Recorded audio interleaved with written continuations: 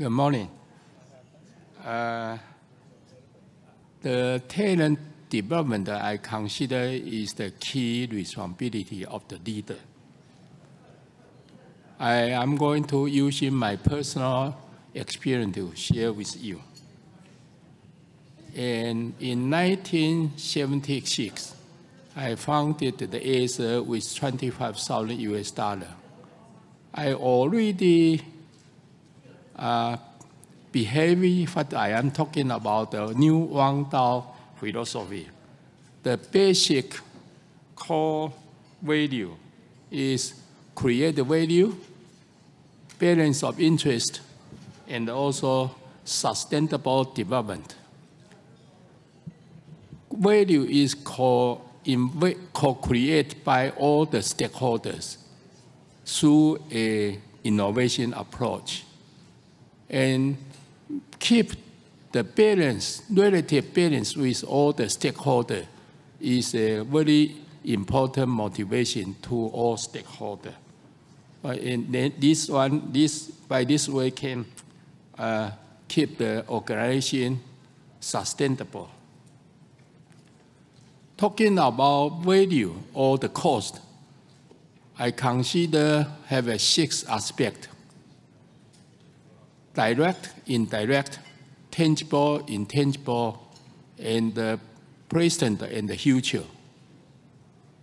And as a leader, they should pay attention on the invisible cost and the value, means indirect, intangible, and the future.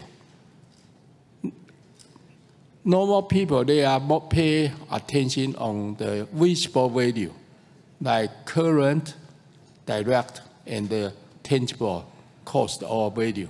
So that is the difference. I am looking for the total value or total cost consideration. When I start the company, the Acer corporate culture and the management philosophy is quite different with the uh, mainstream in the industry. I consider human nature is good. And then a decentralized management philosophy. And we pay the, all the employee nation fee. So for this, I think it, to me, is most effective way to develop the talent. And in the 1992, fire is uh, faced a difficulty I initiated re-engineering. First time, we have three times re-engineering. First time, after reach 100 million US dollar war hit the light, we have a difficulty. So I, the major approach is we try to develop the CEO, we call Group Dragon Qinglong for 100 CEO in that time. And then I have a slogan called the 21 in 21. Today we have more than 100 CEO in the group. 21 in 21 means 21 pub listed company by 21st century. It's easy to deliver this check because 100 years in 21st century in that time. And today we have more than 24 public listed companies in the group. And also, I also announced that 20, uh, 2000 in 2000 means 2000 NT dollar E in year 2000. This two, NT dollar 2000 E is about 700 million in that time. And today, the overall group is reached to more than 35 billion US dollar with the all uh, Acer, BenQ, Wistron, and the AU all together.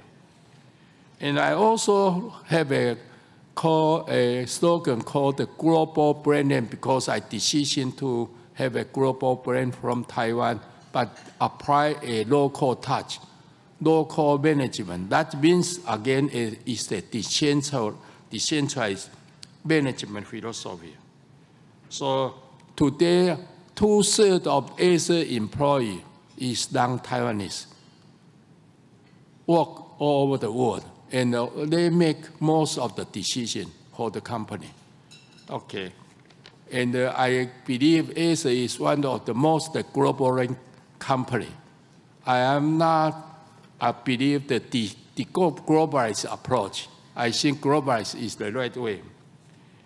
And uh, I, in that time, I also make announcement that I am going to retire at 60 years old, quite early in, in Taiwan uh, uh, society.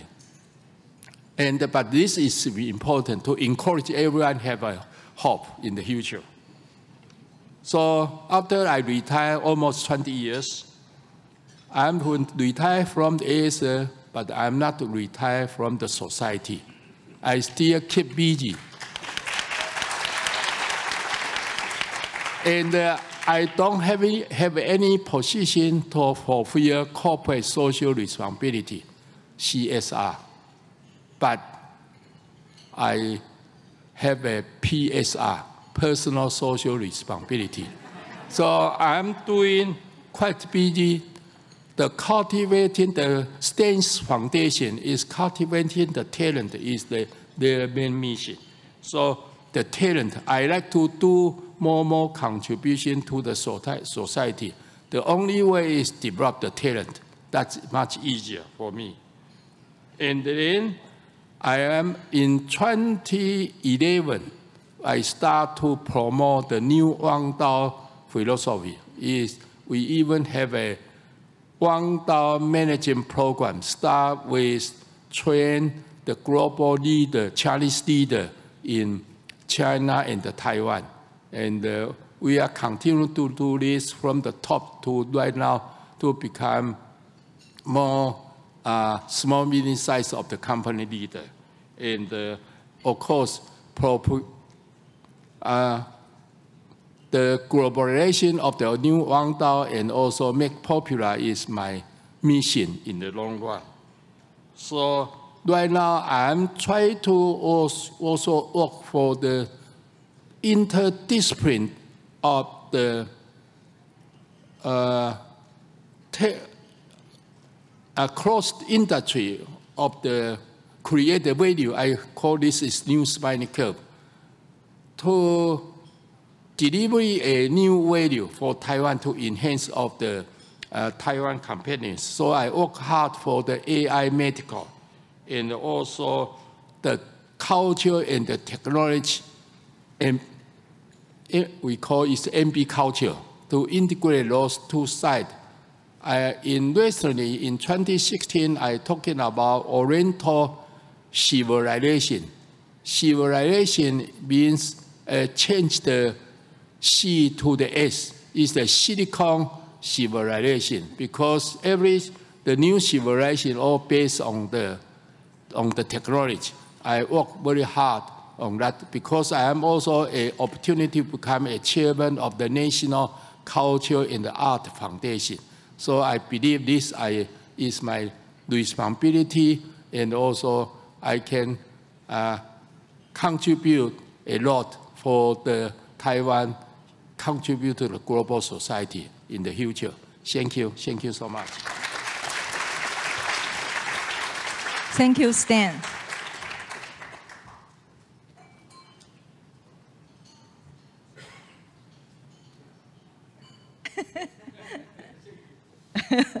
Thank you, Stan. I think 10 minutes for Stan to speak his whole life is too short.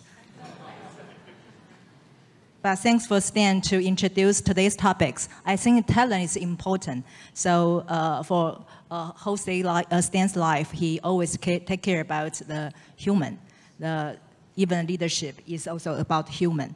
So I think today uh, talent shortage is uh, serious issues, I think the uh, Stan Pan, Pan Siliang Xiansheng understand that a lot. and uh, yesterday, I just learned from our uh, three uh, distinguished panelists.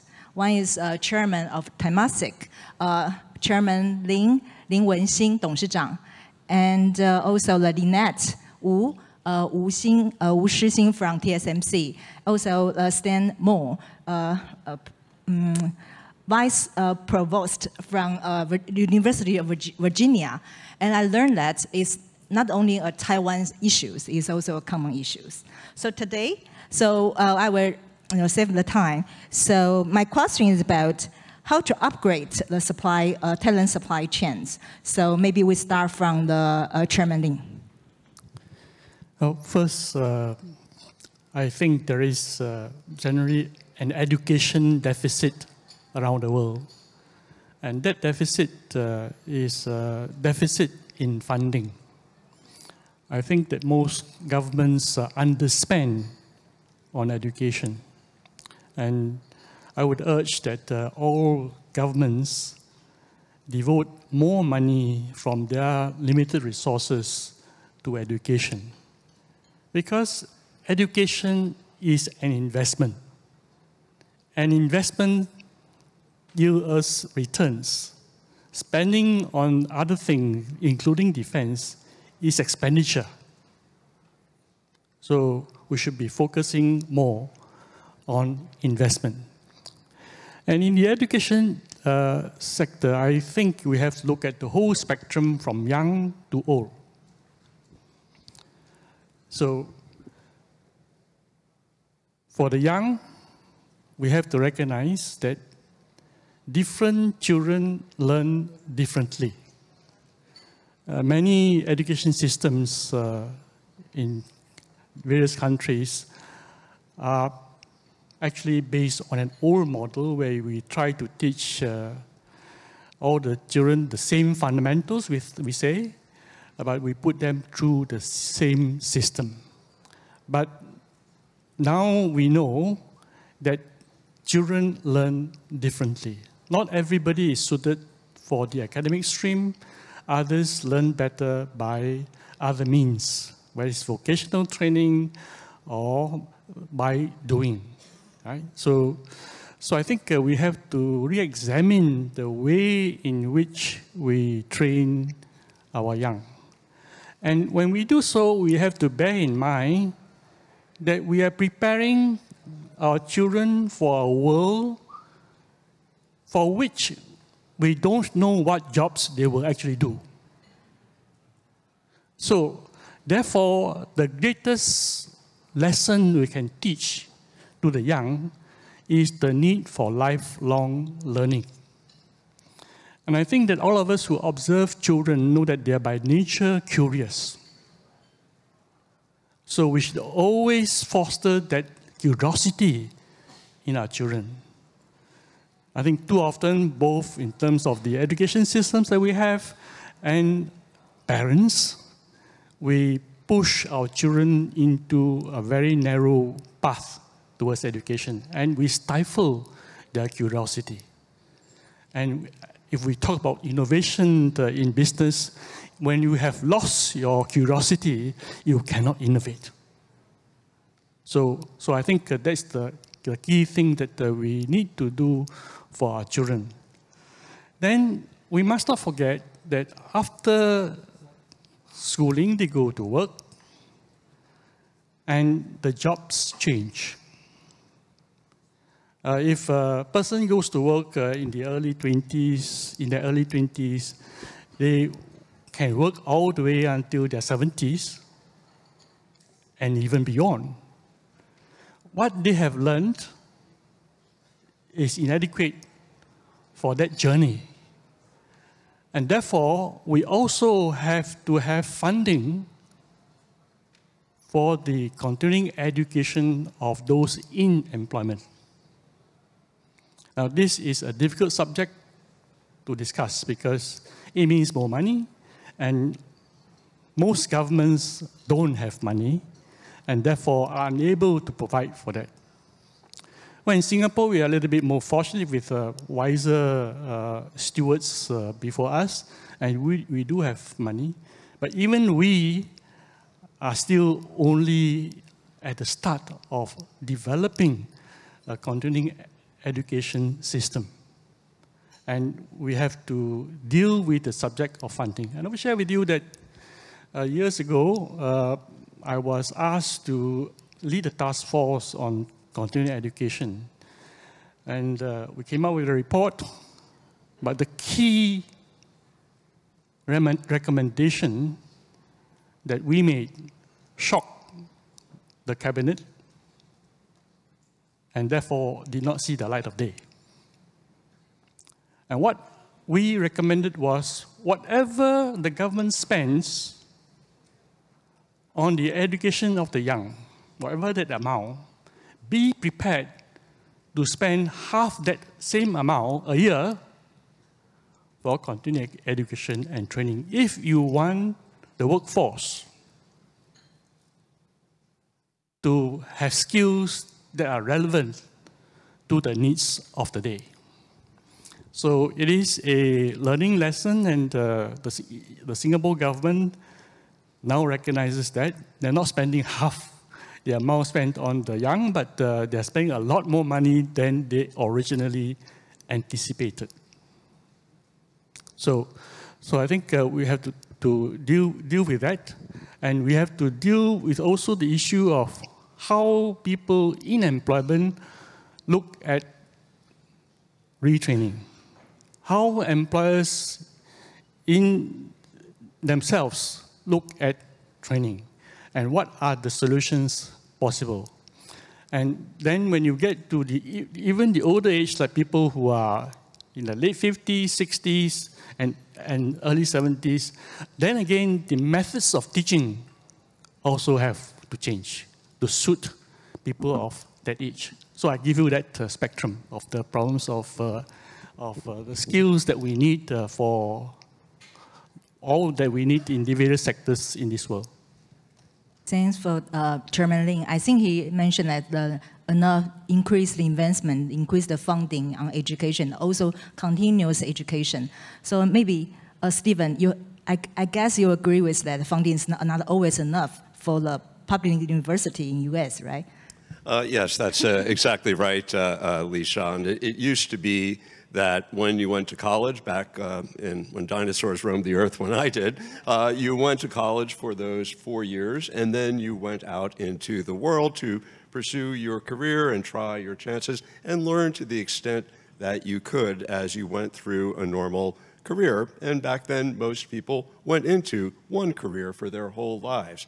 Today, that's radically different. Uh, in America, most people can count on having six, seven, even eight different career changes during the course of their working lives. And their working lives last a lot longer uh, beyond uh, the, uh, the 60 years that, uh, that Mr. Shih uh, stopped. And so the concept of lifelong learning, as the chairman mentioned, has become a, a, very operative principle in American education, higher education today. And you have to approach it from before the student goes to, to university, during the time that the student spends at university, and then afterward for the rest of, uh, of their lives. Uh, before, it's very important uh, when universities are recruiting students, not every person should or will go, go to college, and that's entirely natural and, and as it should be.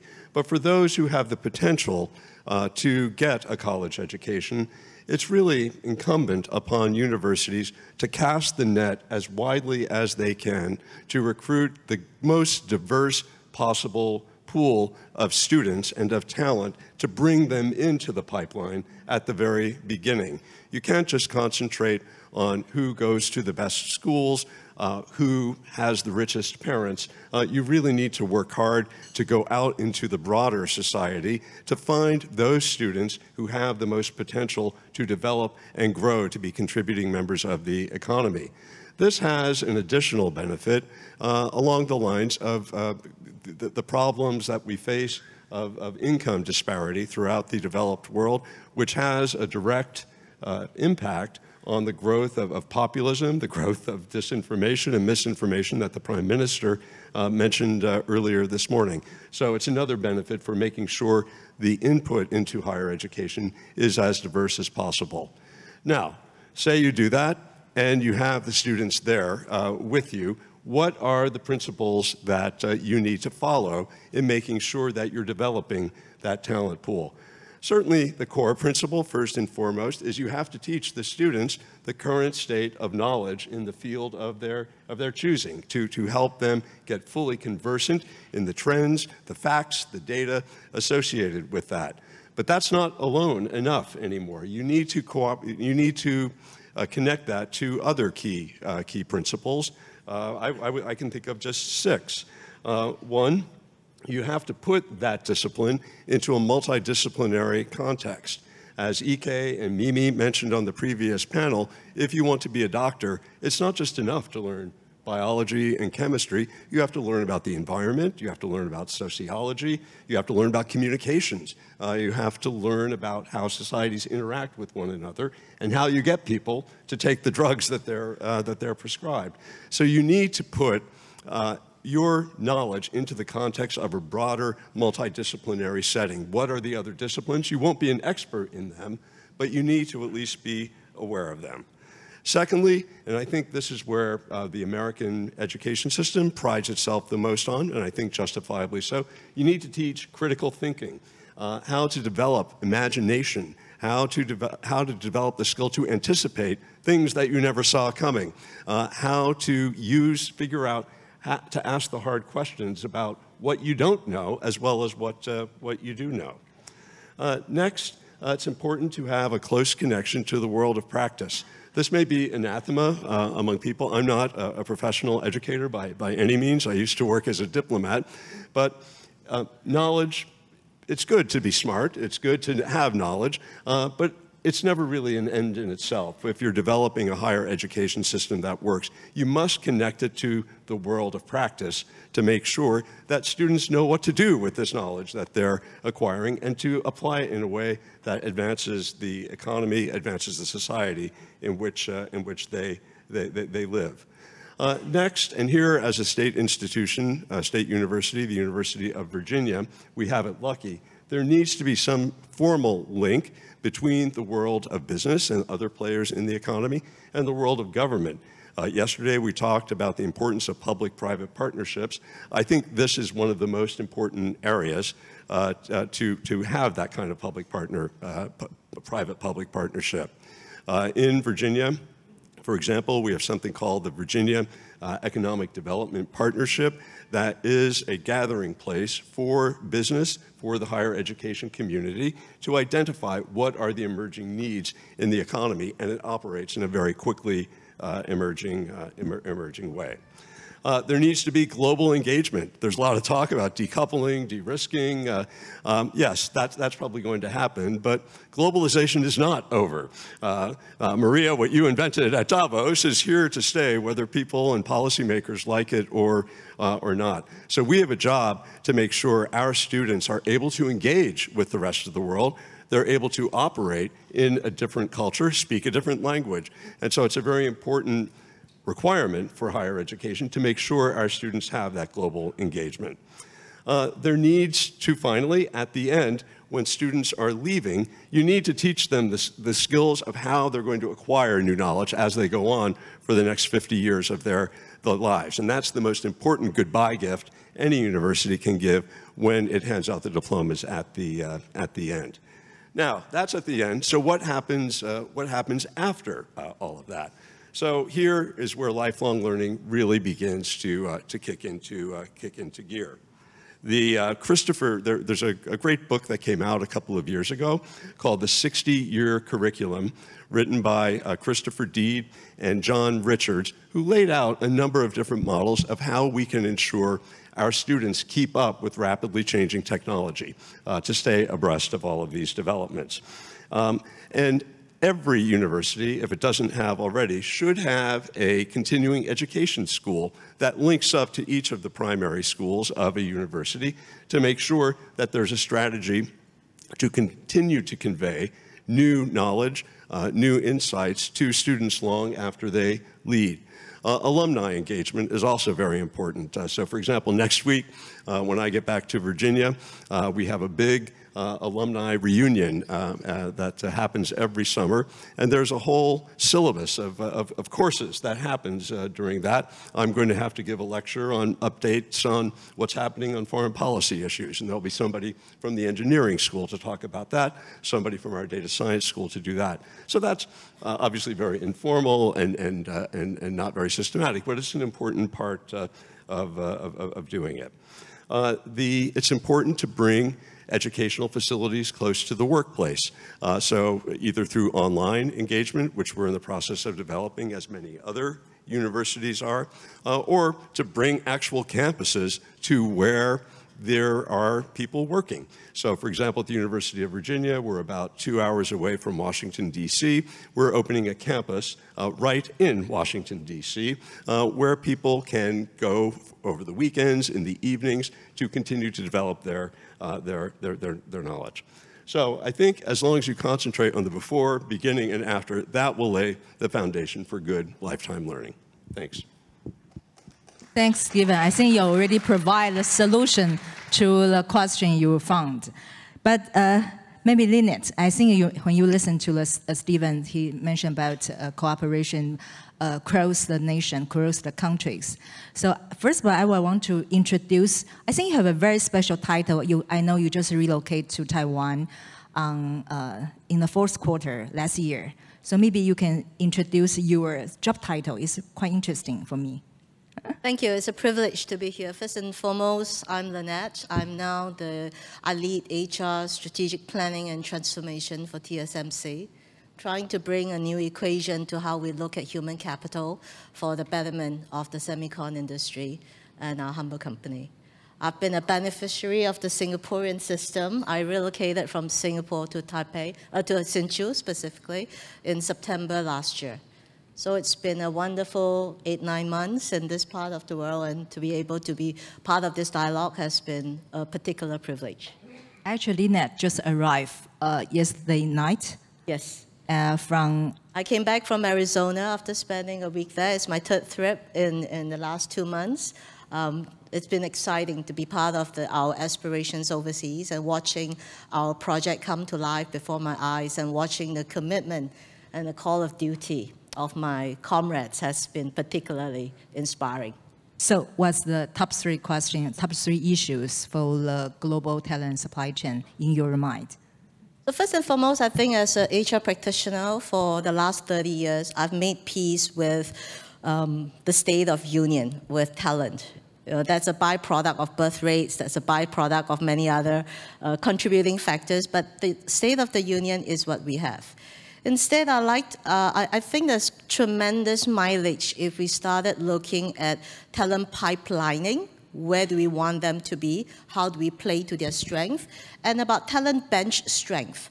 Where do we add muscles? When do we add muscles? And how do we add muscles?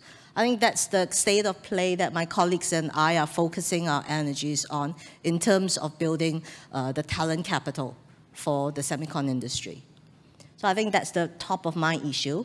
The second is to build muscles beyond the functional brilliance and the academic brilliance that the semicon industry has been a beneficiary of. We have been um, successful. As a company, as an industry, we have seen tremendous transforming, transformational impact to humankind thanks to a very talented workforce. The question is, what's next? Not so much of what do we have right now.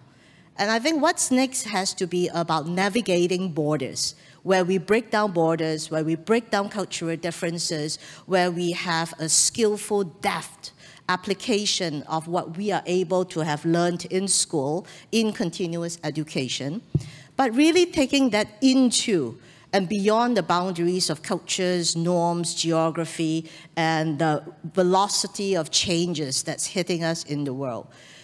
It's about building the capital in each of them to know how to make decisions swiftly, to be able to draw upon a broader frame of reference, to be able to tap upon global perspectives but local intelligence, and to be able to thrive and make peace with the changes that are here to stay, and not hang on too tightly to the successes that has taken us here I think that's a very famous book whom I'm a big fervent supporter of. What got us here may not get us there.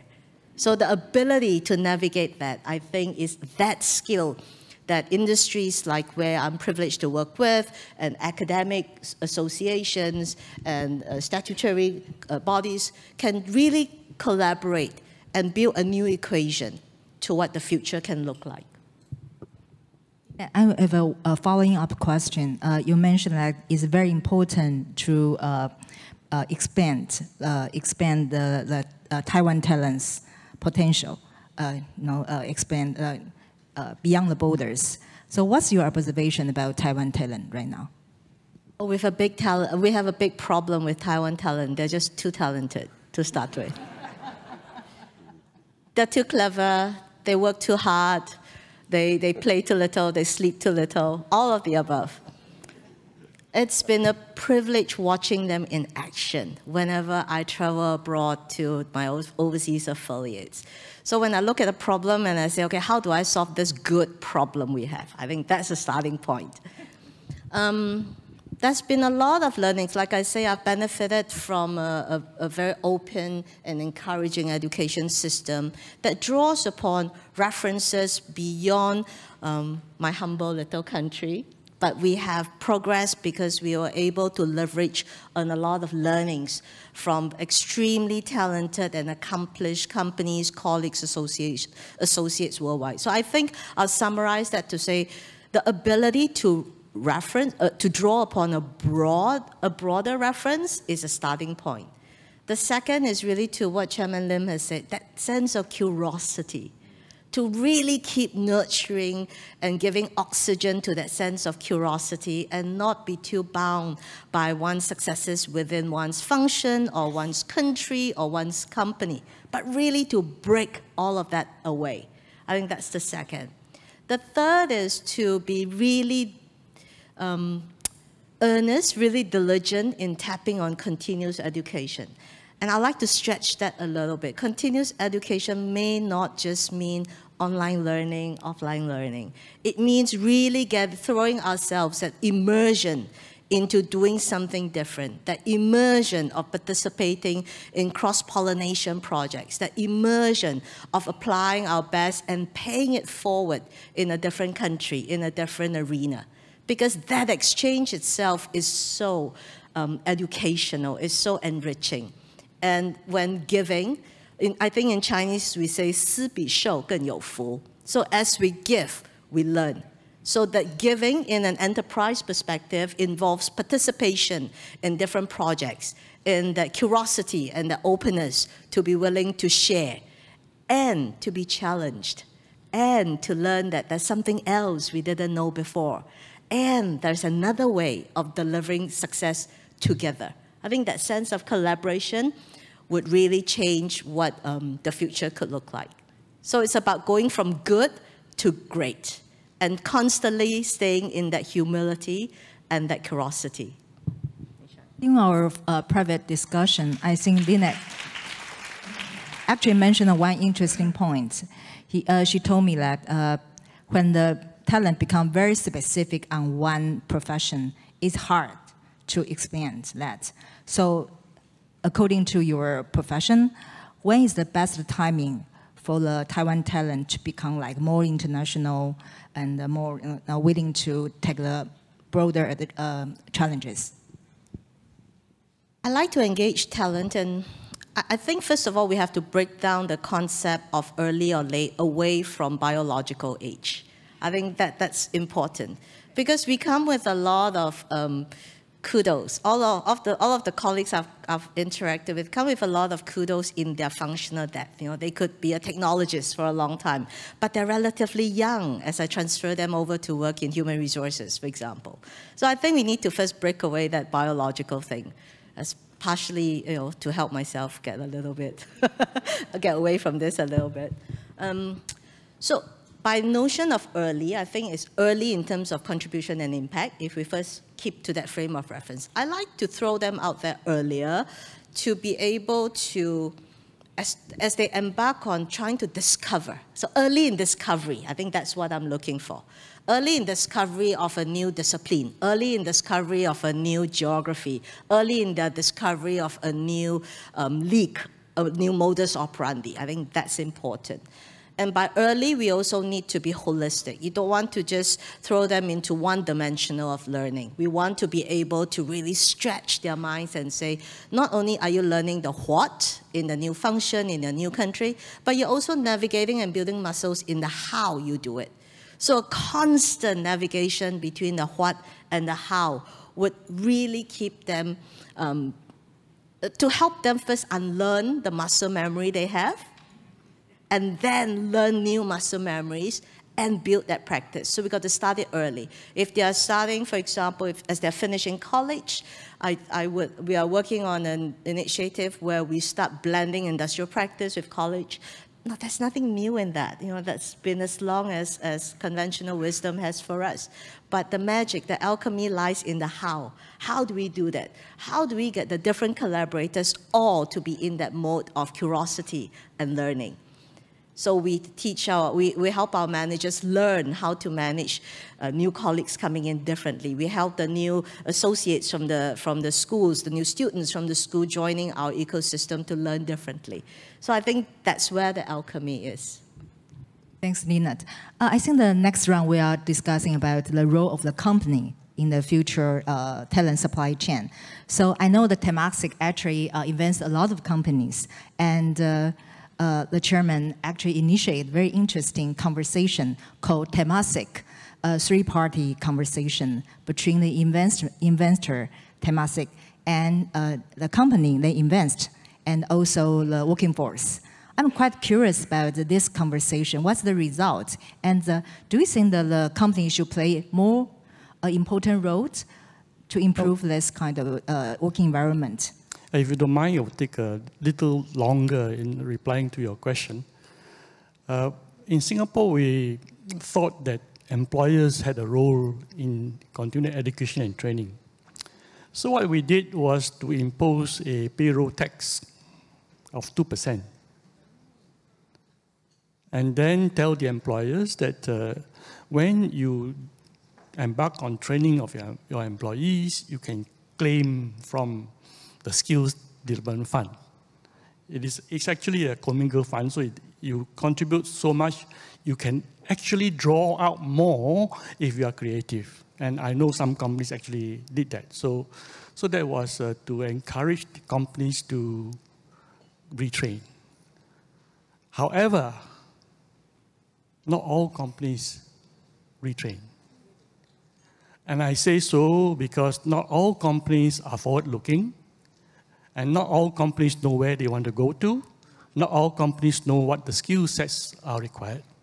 And therefore, that scheme worked only for the forward-looking advanced companies, right? Now, how do we get companies to be involved in training? Some companies actually get involved in training by necessity. But I think we should uh, make a necessity a virtue. So, in the shifting supply chains, uh, companies will move to less developed countries and start out uh, new factories. But you don't have the workers with the skill sets required for those factories. So what do they do? They set up their own training colleges.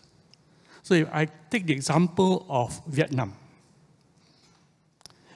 Samsung has their own college. And I believe it is to train the people for themselves, plus extra for the industry, if so, so be it. Vietnamese company Vingroup has set up their own university, I think also for the same purpose. They're going into different things, including uh, electric vehicles. So obviously requiring uh, Vietnamese workers uh, with skill sets for these new industries. So there is a role for companies, and large companies actually have embarked on it. And I think that uh, if we uh, push this further, that more can be done in all countries uh, with uh, the private uh, public uh, partnerships. So that's, I think, a, a very good example of what can be done in, and it's in Vietnam. And if I stay with Vietnam, uh, the Vietnamese government wanted to develop the IT industry. So they set a goal of training 1 million talent. And they have been successful in training IT talent. So I was recently uh, curious as to how it was done. I did a bit of work on my smartphone to try to find out uh, which uh, ministry and uh, how they did it. I came to a website on the government website that mentioned it. They trained 650,000. It's a short period of time, 650,000. So if you want to move the needle, as uh, Stan Shih says, set bold targets, and it can be done. Right? 650,000. Then you figure out how to do it. And I was very curious how they did it. In the same website, it says in partnership with the private sector.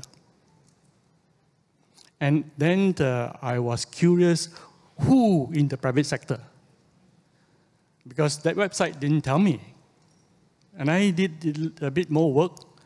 I found that Google was involved. Subsequently, I had the discussions with some Vietnamese uh, friends and found that another company called FPT in Vietnam was also involved. So it is a private-public sector partnership for a national program of quickly training the skill sets needed for industries that were coming into Vietnam.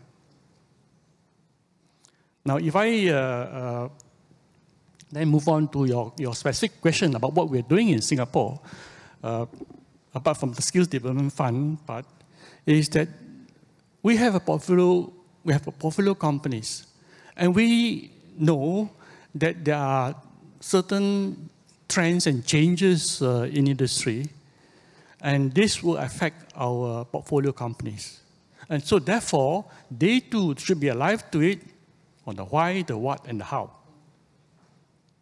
So we have been conducting what we call the Temasek tripartite conversations uh, with uh, the companies in our portfolio, the management, the union representatives, and the government agencies involved. and we discussed uh, the change that might happen in the sector. So last year, it was on climate change, on sustainability, how that's going to affect the companies uh, in, in this particular instance in the mobility, the transport, uh, and the uh, built environment sectors, right? So, so it was a necessary conversation to bring everybody at least to a common uh, basis to discuss the subject. Right? So you must have some knowledge. So we got a consultant to, you know, to, to tell everybody about that. Different people at different stages, so bring everybody to the same uh, reference line. And then the, to understand what it means for the business of that company, and therefore which areas they should be start to start looking at and then to understand how the jobs are going to change, how the existing employees are going to have to relearn, adapt to the new things which the company may be doing. Right? So, so this builds uh, a common understanding and therefore facilitates the collaboration within the enterprise. Uh, that, uh, that was last year. We are going to do a follow-up uh, in September this year on with the same companies on what are the things to do. And what are the, and this year we are bringing a, a different set of uh, uh, people together to discuss artificial intelligence and the impact of artificial intelligence on business and what it means to jobs. If they doing nothing, what's their punishment? we are encouraging. I think, I think that uh, when, the, when everybody understands what is changing, the management knows that if they do nothing, the business is going to uh, decline, and therefore it's in the interest of the company to do something. As far as the employees are concerned, I think employees worldwide, as far as I know, because my, I've spent many years in the trade unions, working for the trade unions, uh, every worker wants some assurance that I can do a job, I can earn an income that will feed my family. If you address that fundamental aspiration of the worker, I believe that all workers will be cooperative. Germany actually is, have a very strong background working uh, in the trade union, right? So I think you believe the workers' power. yes, power, but uh, not, not power as is exercised in many countries. Because in many countries, the exercise of union power is brawn power. Because they don't understand what's going on, they don't know what to do, and the only thing they know is to resist and to fight and to stop things from changing. We take the approach that we have to educate union leaders and workers about change and what they can do. Give them the confidence that they can change, they can adapt, and therefore, actually, life can be better because they be, be doing a better job, earning a better pay. It's, it is work that has to be done all the time, but unfortunately, it's not done in most countries. We have two minutes left. So my question for Lynette and uh, uh, Stephen, uh, I think I'm curious about, uh, from your perspective, what's the most effective way for the company to participate with the university, and what's the best way to co-work with the university? Maybe one minute for each. Uh, well, speaking from a, a, university perspective, what's increasingly popular in the United States, certainly uh, with us at the University of Virginia, is creating spaces for business and academia to interact um, immediately in real, real time. So, for example, uh, we've just decided to create an Institute for Biotechnology uh, with a substantial contribution from our state government. Uh, a private um, philanthropist uh, uh, donated $100 million, and uh, business is also donating money. And this Biotech Institute will provide a venue for our scientists and researchers to work side by side. They'll be co-located with an incubator of startup biotech uh, companies. And so that will provide a nexus for cutting edge research to be shared with cutting edge uh, business. We're just at the beginning of starting it, but I think it's a really uh, exciting model for, pr for promoting that close cooperation. How about Lynette? Well, from the perspective of an enterprise, I think it comes from two main things. First is to um, be very generous in offering what uh, we have to offer to the academics, and TSMC does that. We have academic and research collaborations where we share perspectives and information about our technology to advance the learning and the design. Secondly is to be shameless in asking for what we want the future to look like to think together what, is, what are the future capabilities that we'll like, we imagine that are required in the future, and co-creating that, building that curriculum and building those muscles together with the colleges, the universities, earlier in the system, and providing the bridge for the students to be able to access the real life when rubber hits the road, what does it look like? That kind of world to the students way earlier in their careers. So the idea is not only to nurture, but to inspire and to provide them with a flavor of what the reality is like. And hopefully that gains traction and that builds not only the muscles, but that passion in them way earlier. On that note, thank you for having me. Time is up. So uh, hope you enjoying today's conversation. So let's uh, thanks three uh, distinguished panelists again.